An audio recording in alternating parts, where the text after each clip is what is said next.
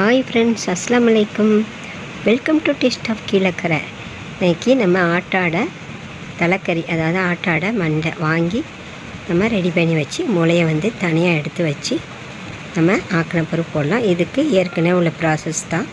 அதாவது இஞ்சி பூடு ரெண்டு வெங்காயம் பல்லாரி வெங்காயம் ரெண்டு தக்காளி இஞ்சி பூடு ரம்பலை எண்ணெய் எல்லாம் தாளித்து நம்ம போட்டு எப்போ உள்ள எல்லாத்துக்குமே நம்ம பண்ணுற மாதிரி தான். ரம்பலை இஞ்சி பூடு பேஸ்ட்டு வெங்காயம் ரெண்டு வெங்காயம் ரெண்டு தக்காளி ரெண்டு டேபிள் ஸ்பூன் இஞ்சி பூடு விழுது. அப்புறம் கொஞ்சமாக மிளகாய் பொடி எல்லாம் தாளிச்சிக்கிட்டு நம்ம எடுத்து வச்ச க்ளீன் பண்ண அந்த தலைக்கறியை இதில் போட்டுடலாம். இதை வந்து மூளையை வந்து பின்னாடி போட்டுக்கலாம். நம்ம லாஸ்ட் டைமில் குக்கரை மூடும்போது நம்ம போட்டுக்கலாம். இப்போ நம்மளோட தலைக்கறியில் தேவையான இஞ்சி பூண்டு பேஸ்ட்டோட எல்லாம் ரெடி ஆயிடுச்சு. இனி மசாலா போடணும். தேங்காய் பால் விடணும். இது வந்து கறி மசாலா பொடி. நம்ம ஏற்கனவே நம்ம வீடியோவில் பார்த்த கறி மசாலா பொடி தான் இது. இது மூணு டேபிள் ஸ்பூன் கறி மசாலா பொடி. இப்போ நம்ம வந்து இஞ்சி பூடு பேஸ்ட்டோட தக்காளி வெங்காயம் எல்லாம் போட்டு வதக்கிட்டு இப்போ கறி மசாலா பொடி போட்டு இதுக்கு தேவையான தேங்காய் பால். நம்ம இது ப்ரெஷர் குக்கரில் தான் பண்ண போகிறோம் அதுதான் நல்லா வந்து வேகும். அடுப்பில் வச்சா ரொம்ப நேரம் எடுக்கும். இப்போ நம்ம எல்லாம் போட்டு நம்ம இது உப்பு சரி பார்த்துக்கணும். இதுக்கு தேவையான காரம் எல்லாம் இதில் போட்டு தான் நம்ம ஏற்கனவே தாளிச்சிருக்கிறோம். இப்போ நம்ம இதுக்கு தேவையான வேகிறதுக்கு தேவையான தண்ணி எல்லாம் ஊற்றி இதுக்கு தேவையான உப்பு எல்லாம் போட்டு வேக விடலாம்.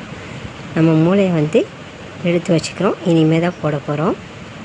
இப்போ நம்ம வந்து இது ஏன்னா இது வந்து முன்னாடியே கீழே அடியில் போட்டிருந்தால் நம்ம கிண்டும் போது வந்து இது கரைஞ்சிரும். அதனால் நம்ம லாஸ்ட் டைமாக நம்ம வந்து அதை மேலே வச்சு நம்ம வந்து விசில் போட்டுக்கலாம். நம்ம கீழே அதில் லாஸ்ட்லேயே ஃபஸ்ட்லேயே நம்ம அதை விட்டுட்டோம்னா நம்ம வந்து விரட்டும் போது நம்மளுக்கு அது கரைஞ்சிடுறதுக்கு வாய்ப்பு இருக்குது. அதனால் மேட்டாப்பில் வச்சு நம்ம இதுக்கு தேவையான விசில் போட்டு நம்ம எடுத்தாச்சு. ஒரு ஆறு ஏழு விசில் போட்டாச்சு. அவங்கவுங்க குக்கருக்கு தக்கன நம்ம மூளையை வந்து இப்போ தனியாக நான் எடுத்தாச்சு. வெளியில் எடுத்துகிட்டு நம்ம இதில் உள்ள கிரேவி ஆணம் எப்படி இருக்குது திக்னஸ் எப்படி தின் அப்படின்னு பார்த்து அதுக்கு தக்கன நம்ம மசாலா தேவைப்பட்டால் கறி மசாலா பா தூள் மறுபடி போட்டுக்கலாம். எல்லா மெஷர்மெண்ட் எல்லாமே கரெக்டாக இருக்குது உப்பு செக் பண்ணிக்கணும். இப்போ நம்ம நான் இதை வந்து தனியாக எடுத்து வச்சுட்டு திருப்பி நான் வந்து மேலேயே வச்சுக்கிடுவேன். மூளை வந்து என் மூளையை வந்து இந்த முட்டையாக போட்டு பொரிக்கவும் செய்யலாம். நம்ம ஆணத்தை கூட போட்டு ஆக்கவும் செய்யலாம். ரெடி ஆகிடுச்சு பாருங்கள் நம்மளோட தலைக்கறி ஆனோம் இப்போ இதுக்கு தேவையான சும்மா ஒரு புளிப்பு இனிப்புக்காக கத்தரிக்காய் கொஞ்சமாக இருந்தால் கத்தரிக்காயை நம்ம எண்ணெயில் போட்டு கொஞ்சமாக லைட்டாக உப்பு போட்டு எண்ணெயில் வதக்குவோம். கொஞ்சம் பிரியாணி அதாவது பிரியாணி ஆகட்டும் அதாவது கறியாகட்டும் எதாவது எதாக இருந்தாலும் ஒரு இனிப்பு புளிப்பு அந்த மாதிரி பச்சடி ஏதாவது இருந்தால் தான் நல்லாயிருக்கும். கொஞ்சமாக கத்தரிக்காய் உப்பு மஞ்சள் பொடி எல்லாம் போட்டு நம்ம எண்ணெயில் வதக்கிக்கலாம் இப்போ அது எண்ணெய்க்காய் மாதிரி தான் ஆனால் கொஞ்சம் இனிப்பு. அதாவது ஜாம் மாதிரி தான் இதுவும். இப்போ கொஞ்சமாக ஒரு மாங்காய் நம்ம இந்த கத்திரிக்காய் கூட ஒரு மாங்காய் சேர்த்துக்கிறோம். இந்த காம்பினேஷன் வந்து செம சூப்பராக இருக்கும்.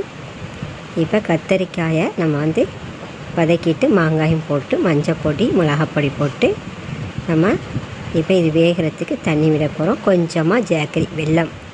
வெல்லமோ கருப்பட்டியோ சீனியோ ஏதோ வேண்டாலும் நம்ம சாய்ஸ் தான். இப்போ வந்து வேகட்டும். ஏற்கனவே எண்ணெயில் வதங்கிருச்சு. திருப்பி வந்து வேகணும். அதனால் வந்து கொஞ்சமாக நம்ம அந்த கறிக்கு ஊற்றிட்டு மிச்ச பால் தேங்காய் பால். அதை கொஞ்சம் மீதம் இருந்ததே நம்ம கொஞ்சம் இதில் ஊற்றிக்கலாம் இப்போ நல்லா வெந்து எல்லாம் சுருண்டு அதை இனிச்சிக்கிட்டு புளிச்சிட்டு மாங்காய் வர நம்ம போட்டிருக்கிறதுனால இது பச்சடி தான். கத்தரிக்காய் மாங்காய் பச்சடி நம்மளுக்கு ரெடி ஆகிட்டு இருக்குது. இப்போ கொஞ்சமாக ஒரு மூணு நாலு பீஸ் வந்து பெரிச்சம்பழம் பெரிச்சம்பழம் விதைகளை எடுத்துக்கிட்டு நம்ம இது கூட சேர்த்துக்கலாம். ஏற்கனவே நம்ம வெல்லம் கொஞ்சம் போட்டிருக்கிறோம். வெல்லமோ கருப்பட்டியோ சீனியோ.